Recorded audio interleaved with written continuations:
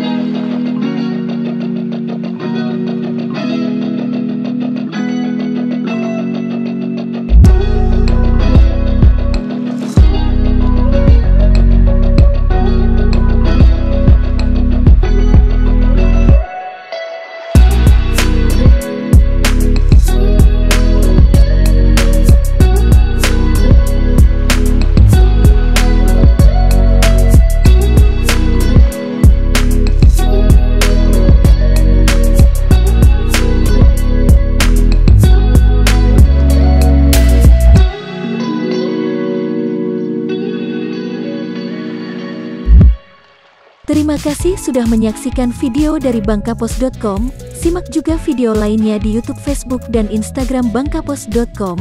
Jangan lupa like, komen, dan subscribe